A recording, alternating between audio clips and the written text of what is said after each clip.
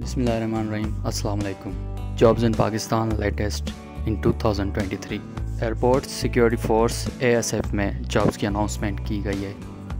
Male female दोनों apply कर सकते हैं। जॉब्स की डिटेल्स आपके साथ शेयर करने जा रहे हैं।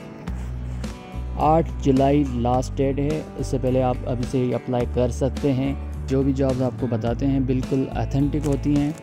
थोड़ा नीचे आते हैं, इसकी डिटेल्स रीड आउट कर लेते हैं। तो अप्लाई करने के लिए लास्ट डेट है आठ जुलाई। एयरपोर्ट सिक्योरिटी फोर्स की जॉब्स हैं एएसएफ की।